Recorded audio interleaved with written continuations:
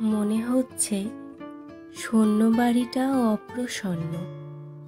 অপরাধ হয়েছে আমার। তাই আছে মুখ ফিরিয়ে। ঘরে ঘরে বেড়াই ঘুরে। আমার জায়গা নেই। হাঁপিয়ে বেরিয়ে চলে আসি। এবারই ভাড়া দিয়ে চলে যাব দেরাদুনে। অমলির ঘরে ঢুকতে পারিনি বহুদিন। মোচড় যেন দিত বুকে। ভাড়াটে আসবে। ঘর দিতেই হবে সাফ করে। তাই খুললাম ঘরের তালা।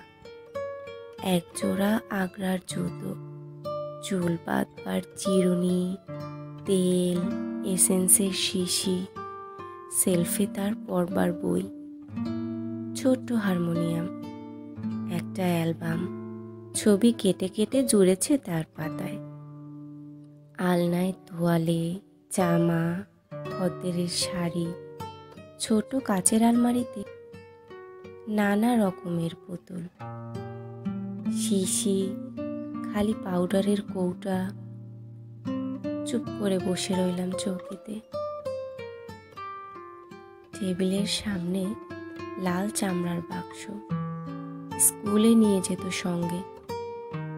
তার থেকে খাতাটি নিলাম তুলে। আখ কষবার খাতা। ভিতর থেকে পড়ল একটা আকোলা চিঠি।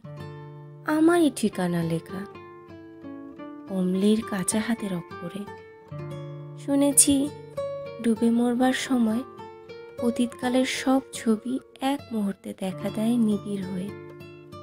চিঠিখানি হাতে নিয়ে তেমনি পড়ল মনে অনেক কথা এক নিমিষে। অমলার মা যখন গেলেন মারা তখন ওর বয়স ছিল সাত বছর। কেমন একটা ভয় লাগল মনে। ও বুঝি বাঁচবে না বেশি দিন।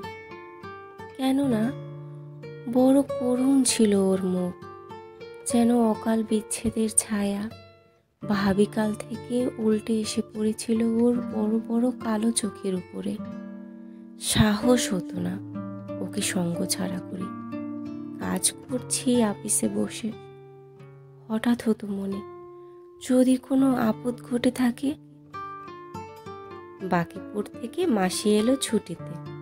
বললে, মেয়েটার পড়াশুনো হলো মাটি মূর্খ মেয়ের বোঝা বইবে কে আজকালকার দিনে? লজ্জা পেলাম কথা শুনে তার। বললে, কালই দেব ভর্তি করে বেথুনে স্কুলে তো গেল। কিন্তু ছুটির দিন বেড়ে যায় পড়ার দিনের চেয়ে। কতদিন স্কুলের বাস এমনি যেত ফিরে? সে চক্রান্তে বাবারও ছিল ঝোঁক। ফিরে বছর মাসি এলো ছুটিতে। বললে, এমন করে চলবে না। নিজে ওকে যাব নিয়ে, বোর্ডিংয়ে দেব, বেনারসের স্কুলে। ওকে বাঁচানো চাই বাপের স্নেহ থেকে। মাসির সঙ্গে গেল চলে। অশ্রুহীন অভিমান নিয়ে গেল বুক ভরে। যেতে দিলেম বলে।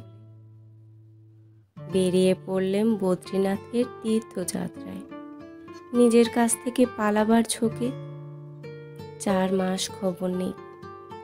মনে হলো গ্রন্থি হয়েছে আলগা গুরুর কৃপায়।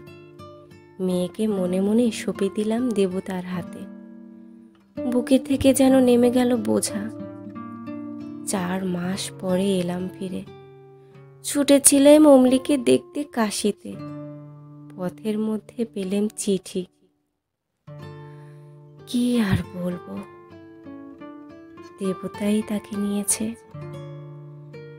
যাক সে কথা থাক। কমলার ঘরে বসে সেই আকুলা চিঠি খুলে দেখি। তাতে লেখা তোমাকে দেখতে বড্ড ইচ্ছে করছে। আর কিছুই নেই।